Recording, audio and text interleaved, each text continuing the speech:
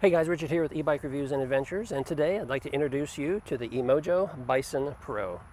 Now the Bison Pro is a trike that we selected and purchased with our own money, so Emojo does not sponsor my channel and they do not sponsor this video. We were looking for a new trike for my wife, so that it gives her the ability to get out of the house more and to get out and enjoy the trails when I'm out riding. And so we searched for weeks looking for a trike that we felt would be perfect for her. So we compared trikes from many different manufacturers and looked at the specs and the size and the power of the motor and, and a number of things. And we finally decided that the Emojo Bison Pro was best suited for our family. So let's just go ahead and jump in and take a closer look and I'll show you what it's all about. So the Bison Pro is an attractive looking trike. It has a lot of great features that we found that uh, we really was looking for when we were out shopping. And I tell you what, um, We've been real satisfied with our purchase so far, with a couple of small exceptions. Let's go ahead and start up here in the front. First of all, let's take a look at these tires. Now, these aren't street tires, but they're not off-road tires either. There's a nice combination of both, if you take a look at that tread right there. Now, on the front here, we do have a 24-inch tires, 24 by 4, and on the rear, we have 20 by 4 tires. Of course, the, the hub motor is up here in the very front, along with the spring suspension forks. And the motor is a 750 watt motor. And the torque rating, well, we're going to talk more about that in a moment, but currently it's 65 newton meters, which is a little bit low. We'll talk more about that in just a moment. We do have fenders that came with this bike, although the front fender is kind of small when you consider the overall size of the tire. It does come with this basket up here on the front and an LED light that is mounted right down below. I like that the wiring is mostly wrapped and we've got pretty good cable management here and it goes into the side of the frame right here. And some of it goes on the outside of the frame as you can see as it makes its way back here to the controller. This is a folding trike and I found that it is pretty easy to fold although it doesn't really reduce the overall size. It does get a little bit shorter so it's not as long but it does get a little bit wider the way this front tire tucks in over here next to the rear tire. Now one of the things I really like about this trike is the frame was built for it being a trike. Unlike some that are out on the market where they take a bicycle frame and they simply stick a longer axle in the rear and add two tires. So this frame was designed to be a trike. So we do have the controller right back here underneath the seat instead of the battery, and that's because the batteries are hidden back here underneath the basket. I'll show you those in a moment. We do have a quick release seat post right here, so it makes it easy to adjust the seat up and down. And let's take a look at the seat because this is an extra large seat saddle with a backrest. And we found it to be quite comfortable and it's really nice having a backrest, especially if you're a person with limitations or if you're an older person. It helps build confidence because you've got that support right there on, the, on your back. Now one thing I will tell you about this seat and that is the connection back here uh, for the backrest is plastic, okay? And it's not real strong and this seat has fallen down a couple times, just like that right there. So we're gonna have to do a little modification in order to get that to stop falling down because you just can't tighten it anymore here because everything back here is made of plastic. Now moving on toward the rear, I will show you this right here. That is an accessory that my wife already added. That's the bottle holder she selected. And you know, that's because there's not a real good place on the front to place a bottle holder, but we found it to be very convenient to attach it to the, the rear basket. That way it is right beside her. Moving on back here, you do see the rear tires, and like I said, these are 20 by 4 tires, and we have the same tread pattern as what's on front. You can get an eye right there, taking a look at the hydraulic disc brakes, and these are 160 millimeter rotors. The fenders on the back are a little bit bigger than what we found on the front, so it does provide pretty good coverage from any wet or mud surfaces that you may run through. I found that this rear basket is really nice and large and we can put a lot of stuff in there. Now we did purchase the optional bag that goes inside the basket and it attaches on each corner right here with Velcro straps so it's easy to take it on and off. But it's got a nice zipper on the, on the back that allows you to have easy access and we really like that. If you choose not to get the bag, then this basket does have a wood surface underneath that is nice and solid so things won't fall through. You'll just have to be concerned about anything that might fall through the cracks on the sides. Now back here, we do have dual batteries. And let me share this with you. The, the batteries are a total of about 23 amps. And there is a charging port right here on the end of both of them to make it easier to charge. Now we haven't had the trike long enough. Uh, we've only had to charge it one time. And I will tell you that the one time that I charged it, I only plugged the charger in to this side. And when the charger told me the batteries were full, I switched the charger over to this side over here and it indicated it was full also, so I didn't need to charge this battery. I did reach out to support and ask them if the batteries drain at the same time, if they'll charge up at the same time, if they balance. And I really didn't get a good answer as to whether they did or they didn't. So I'm not sure, but as we continue to ride and as we continue to uh, test this, we'll find out if that is in fact what is happening. The batteries do have a little indicator. You look down through here, they do have a little indicator that you can push and it'll tell you what the battery status is. It's hard to reach underneath there. There we go and it all lights up. And the same for that side over there.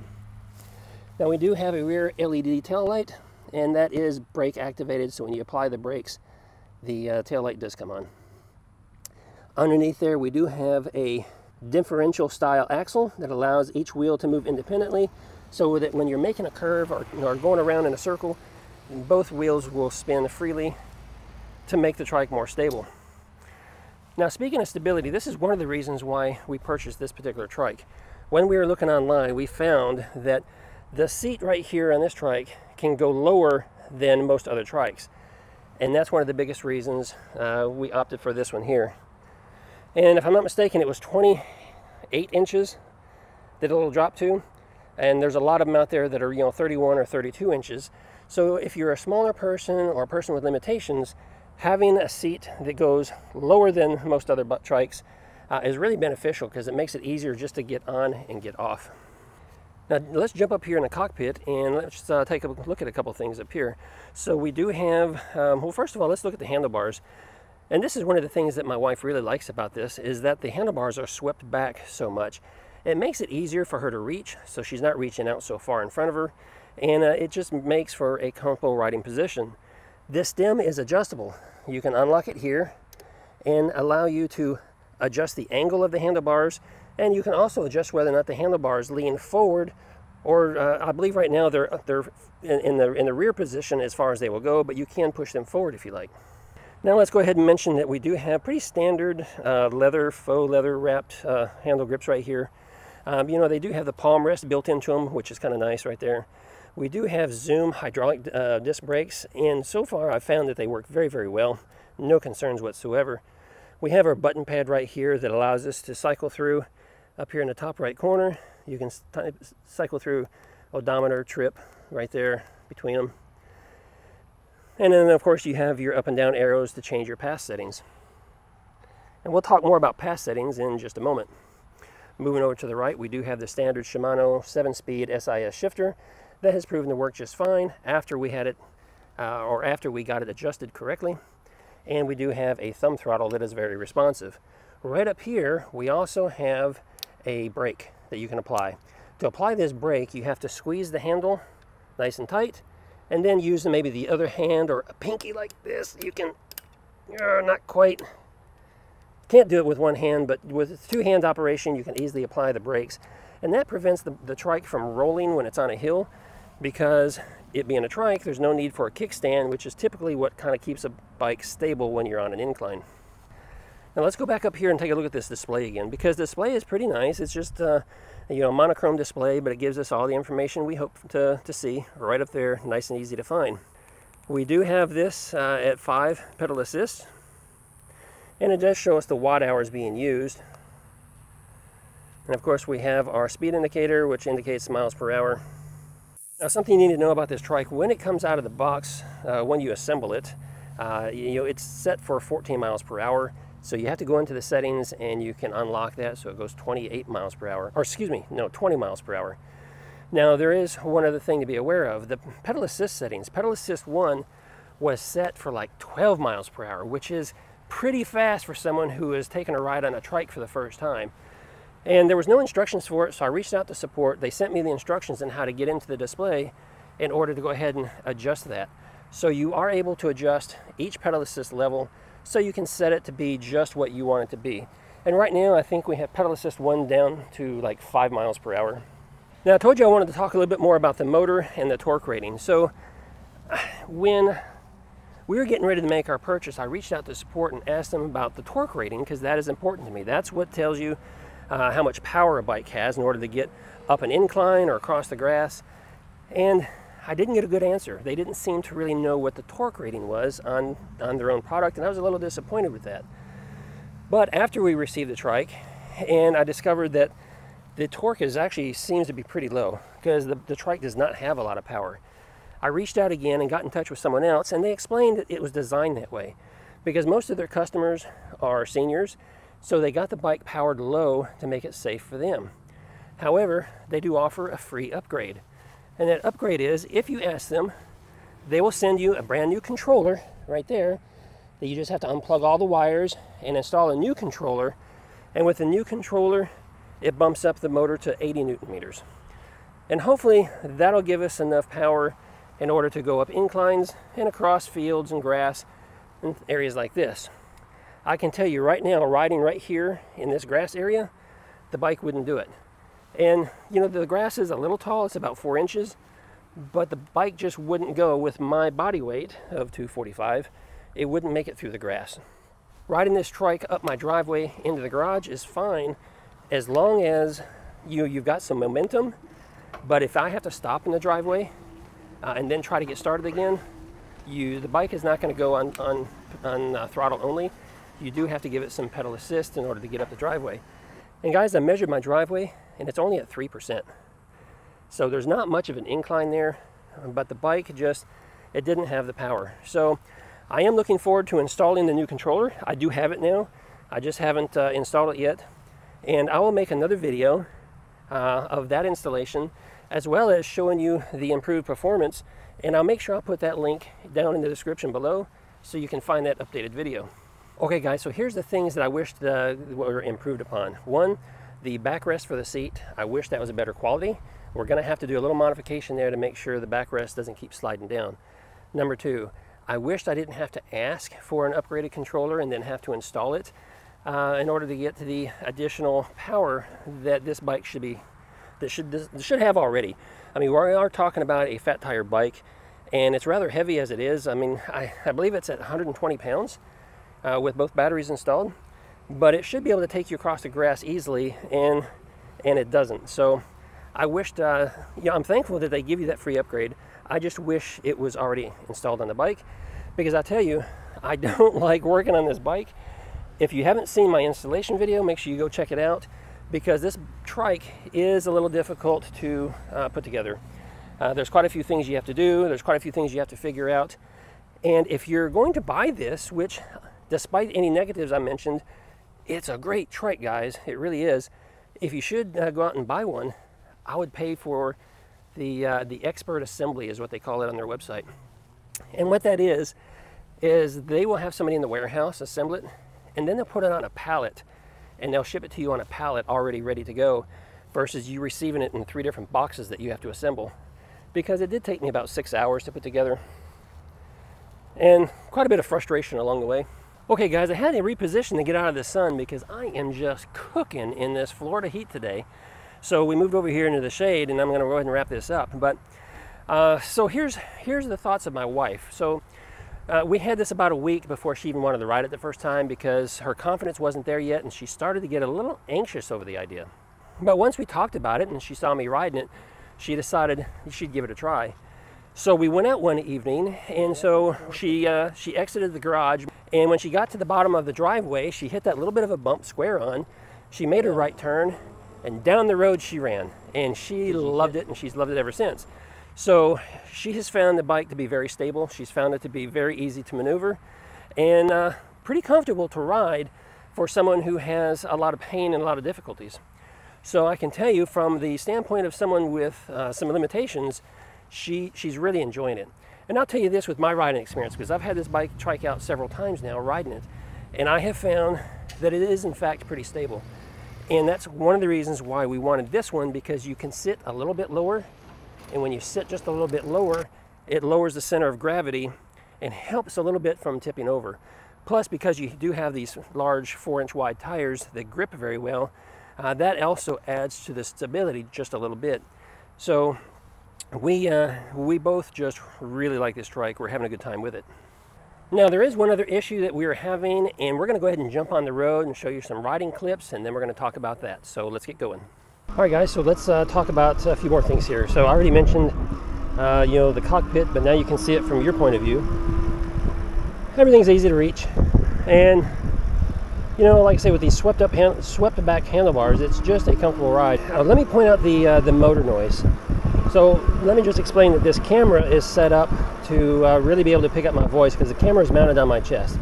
And so it's turned up to uh, be able to, to, capture my voice. So it also captures things like the motor and it magnifies it. So the motor is not as loud uh, as it seems on camera. So I just wanted to point that out to you. Especially when I hit the throttle and we get going, the motor really kind of whines. But again, it's just, uh, uh, and you can hear it, uh, you know, clearly when you're riding. But not nearly as bad as what it sounds on camera. All right, so I'm just going to throttle for right now, and uh, that way I'm not bouncing around because here's the thing. This trike and pretty much any trike, when you're pedaling, you're shifting your weight back and forth, and that's when things can start getting a little squirrely, right? The bike can start rocking. Now I can still pedal at a pretty high speed because I've kind of gotten used to it, but just be aware that, that when you're pedaling and you're kind of shifting your weight right and left, right and left, that's when the bike starts rocking a little bit. So at higher speeds, I tend to just use the throttle only.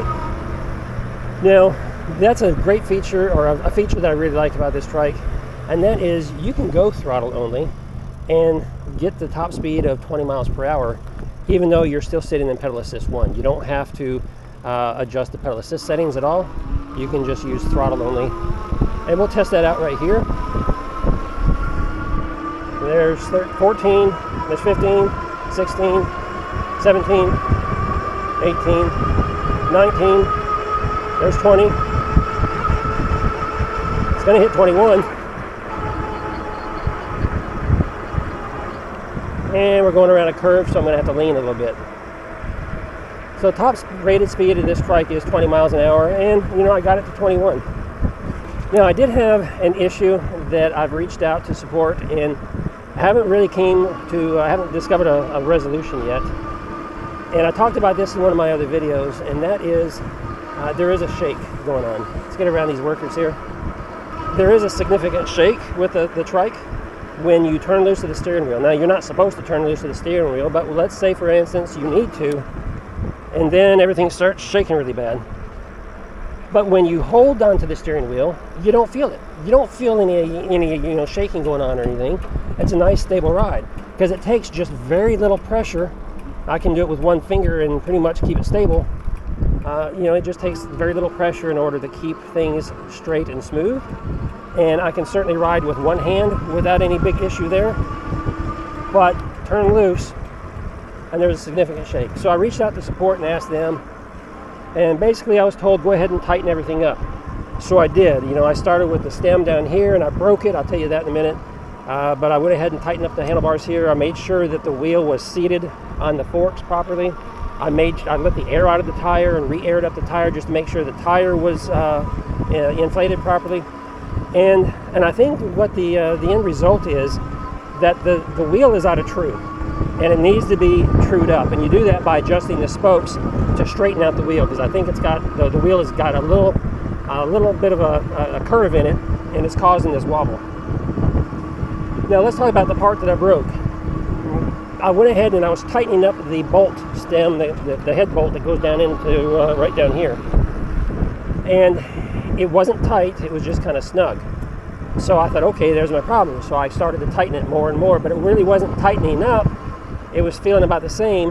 And what happened is, down inside the tube here, you have what's called a star nut. And it's just kind of wedged inside the tube and then the bolt that holds the handlebars on, the bolt runs into that star nut. Well, that star nut slowly worked its way up to the top of the tube and popped out. And so I end up having to buy a new star nut off of Amazon, a little tool to insert it. Cost $15, but I got everything put back together relatively easy. But we still have this shake. So disappointed, uh, reached out on social media, talked to different people, and uh, different people with different trike owners, they don't indicate that there's a shake at all. And yeah, I showed this on another video too. But if you look, but if you look closely at the wheel, and I'll try to hold it as straight as I can, you'll see the wheel wobbling just a little bit. So that tells me that it's probably easily fixed. I'm just going to have to take to a bike shop, have them put on a truing stand so they can get the wheel balanced, and tightened up the way it should be. And I think we're going to be good to go. When I'm able to do that, I will make sure I put a note down in the description down below and let you know if that worked or not. Um, but uh, yeah, so that's that's going to be my solution for that, I believe. The brakes on this trike do work quite well. No problem at all with the braking. Um, I did notice that uh, one brake seems to lock up before the other one, so that needs a small adjustment there. The derailleur uh, for the shifting, it does shift pretty smooth now when you go through the gears to shift.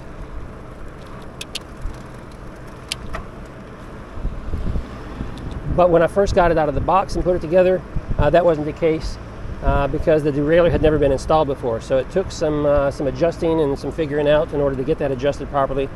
But now it is, so it shifts fine. Don't have any trouble with that.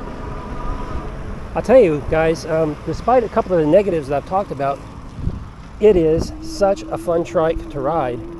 And my wife has been using it right here in the neighborhood, but I've taken it out further outside the neighborhood and gone further with it. And it works great on on hard surfaces. It just, it's got, you know, nice pickup, nice and steady, nothing overpowering there. It, um, you know, so it's nice and stable on the acceleration. It rides smooth. I'm really looking forward to changing out that controller so that we get more power because right now, it, like I said, you know, like I demonstrated, it does not like to go through the grass at all. It's just not liking it too much at all. And certainly uh, it is not ready for the sand. This this thing would never make it through the sand. I'll tell you that right now. Um, on any any rough surfaces, um, you know, I, I, question that because it really needs to be a smooth surface. And we bought this trike being a fat tire, um, you know, hoping to be able to go over some rough terrain. And you know, I'm hoping that once we uh, um, get the new controller on there and get the the torque rating boosted up to 80 newton meters, I, I think it'll be able to, to haul the, the heavy bike frame as well as the heavy riders, and it'll do well for us. So since the release of the first couple of riding videos, I've had a lot of people contact me and a lot of comments made about the price of this trike and saying, well, you know, this is this is double the price of another very popular budget trike. So let's talk about that for a moment. We are going to do a comparison of the two, not in this video, but uh, there are two different price levels for trikes, and and there is one that is about half price and it seems to be pretty good if that is what you're looking for and that has the features that you want. But the Bison Pro has suspension front forks okay? Uh, this budget trike does not. It has hydraulic brakes and I don't think the budget trike does. This has a 750 watt motor. The other one I think is only a 500 watt motor. And so there's just a number of things. The other one only has like a 14 amp hour battery. This one has two dual batteries with a combined uh, 23 amp hours. So, you know, just a number of upgrades for uh, uh, for this trike. And those are some of the reasons as to why we went ahead and purchased this one, aside from the fact that it's got a slightly lower center of gravity.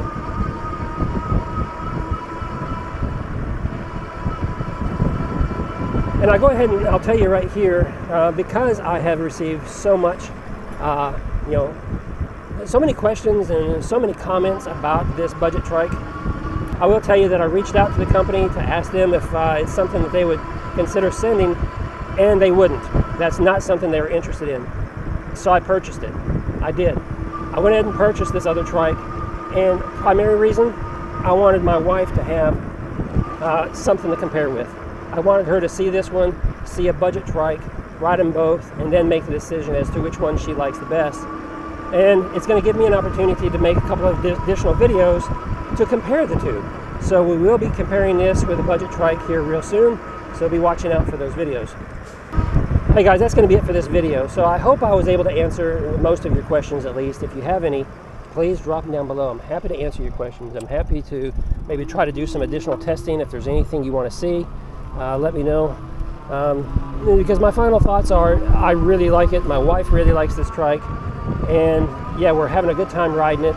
Uh, you know, I've let a couple of my neighbors ride it already, and they're really enjoying it. I just hope that we'll be able to get rid of the uh, the shaking in the front to make it just a little bit more stable, and that's really my only issue. Uh, everything else about the trike, we just really like it a lot. It's a lot of fun, And should you decide to purchase one, you will see what I'm talking about. It's going to be a lot of fun. You'll enjoy it too. If you decide to do that, make sure you use my affiliate link down below. It does help this channel to grow. Uh, it's a free, easy way for you to support the channel, and that's appreciated. If I, you enjoyed this video, please give me a thumbs up. And if you're new here, make sure you subscribe. And if you haven't checked out my other videos where I was out riding and doing some demonstrating on it, and or the assembly video, I'm going to leave those right here for you.